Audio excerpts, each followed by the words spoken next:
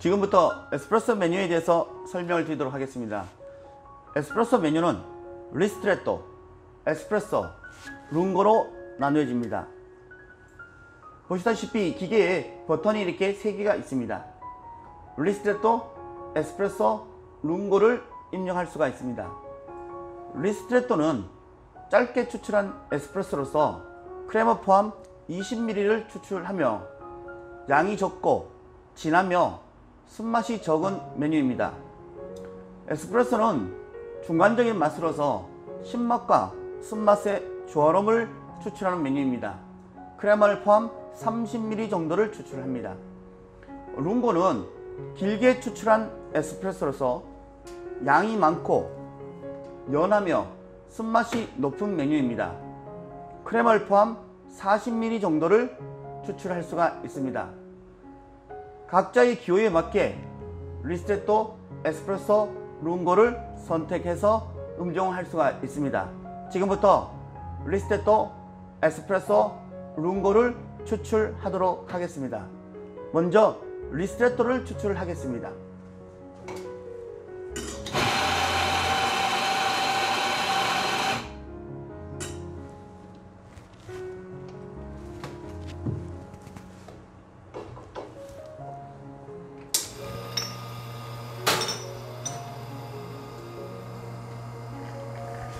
다음은 에스프레소를 추출하도록 하겠습니다.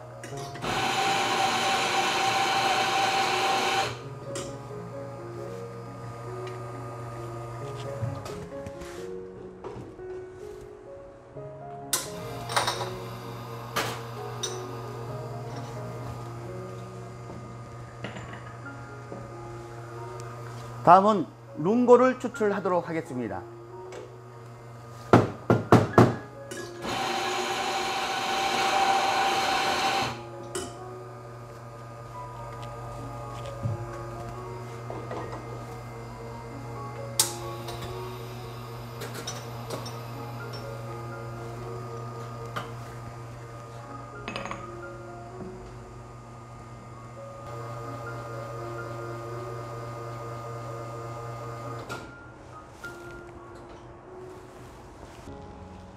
여기 테이블 위에 리스트레토, 에스프레소, 룽고가 추출되어 있습니다.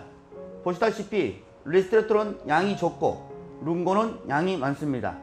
리스트레토는 어, 쓴맛이 적고 룽고는 쓴맛이 많습니다.